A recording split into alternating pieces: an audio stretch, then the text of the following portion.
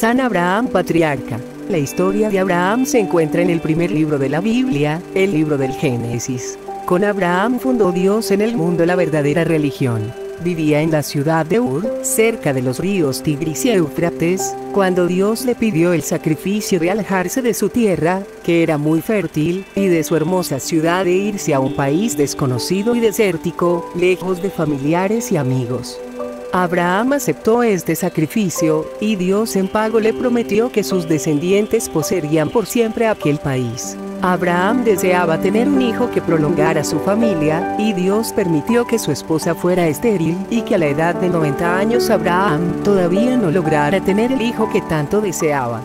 Sin embargo, nuestro Señor le prometió que su descendencia sería tan numerosa como las arenas del mar y Abraham creyó a esta promesa de Dios, y esta fe le fue apreciada y recompensada. Dios se le aparece en forma de viajero peregrino, acompañado de dos ángeles disfrazados también, y Abraham los atiende maravillosamente bien. Dios le promete que dentro de un año tendrá un hijo. Sara la esposa, que está oyendo detrás de una cortina, se ríe de esta promesa, porque le parece imposible ya que ellos dos son muy viejos. Dios manda que al niño le pongan por nombre Isaac, que significa el hijo de la sonrisa. Y cuando el jovencito tiene 12 años, Dios pide a Abraham que vaya a un monte y le ofrezca el hijo en sacrificio. Abraham acepta esto que le cuesta muchísimo y cuando ya va a matar a Isaac, un ángel le detiene la mano y oye una voz del cielo que le dice, he visto cuán grande es tu generosidad.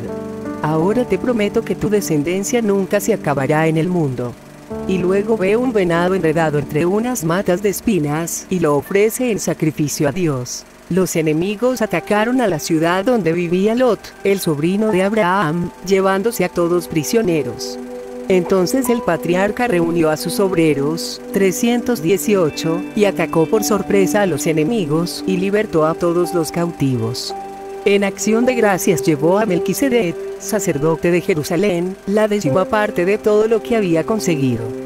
Desde entonces quedó la costumbre de dar para Dios y para los pobres el diezmo, o sea la décima parte de lo que cada uno gana nuestro Señor le comunicó a su amigo Abraham que iba a destruir a Sodoma porque en esa ciudad se cometían pecados de homosexualidad. Abraham le rogó a Dios que no la destruyera si había allí siquiera 10 personas buenas. Pero como no las había, cayó una lluvia de fuego y los mató a todos. Solo se salvó Lot, por ser el sobrino de Abraham.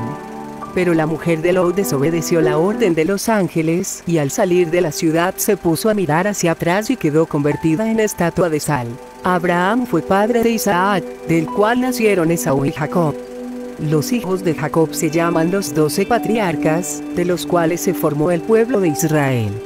Dios le cambió el nombre de Abraham, que significa padre, por el nombre de Abraham, que significa padre de muchos pueblos. La S. Biblia alaba a Abraham porque creyó contra toda esperanza y porque nunca dudó de que Dios sí cumple lo que promete, aunque parezca imposible. Santo Patriarca Abraham, pídele a Dios que nos conceda una fe tan grande como la tuya, y el perseverar fieles a nuestra religión hasta la muerte.